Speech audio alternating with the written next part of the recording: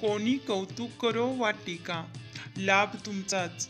कौतुक प्रेरणा देते तर टीका सुधारण्याची संधी देते.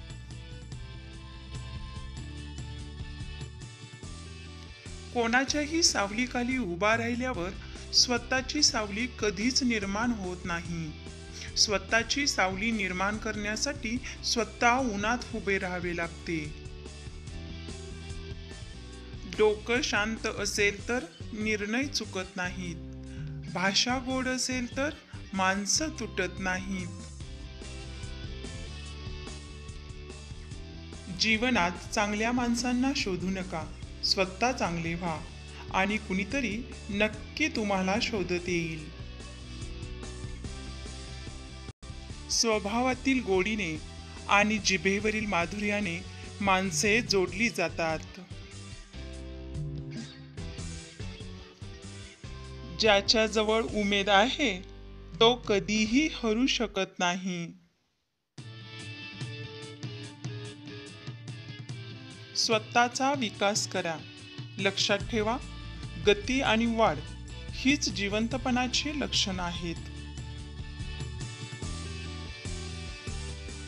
कोणतेही कार्य हे अडथळ्याशिवाय पार पडत नाही.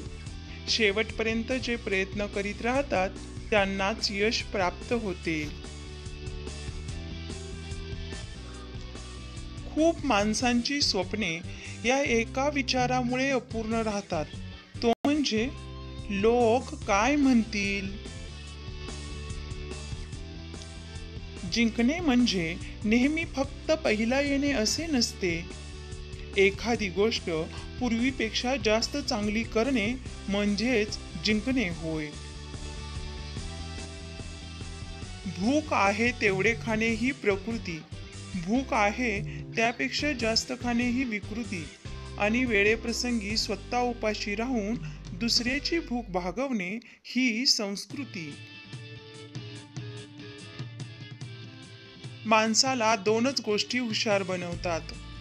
एक म्हणजे वाचलेली पुस्तकं आणि दुसरी भेटलेली माणसं.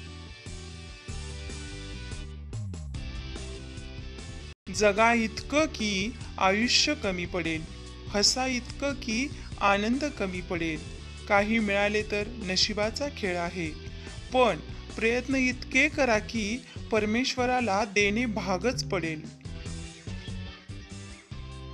शरीराला श्रमाकडे बुद्धीला मनाकडे आणि हृदयाला भावनेकडे वळवणे म्हणजेच शिक्षण. समजवण्यापेक्षा समजून घेण्यामध्ये खरी परीक्षा असते. कारण समजवण्यासाठी अनुभवाचा कस लागतो तर समजून घेण्यासाठी मनाचा मोठेपणा लागतो. नेहमी तुमचे सर्वोत्तम प्रयत्न करा. आणि हे करून देखील ते तुमची कदर करत नसतील तर तो त्यांचा दोष आहे. तुमचा नाही. बोलून विचार करण्यापेक्षा बोलण्याआधी विचार केलेला बरा. मनुष्याजवळची नम्रता संपली की त्याच्याजवळची माणुसकीच संपली म्हणून समजावे. आयुष्यात कधीही कोणासमोर स्वतःचं स्पष्टीकरण देत बसू नका. कारण ज्यांना तुम्ही आवडता त्यांना स्पष्टीकरणाची अजिबात गरज नसते.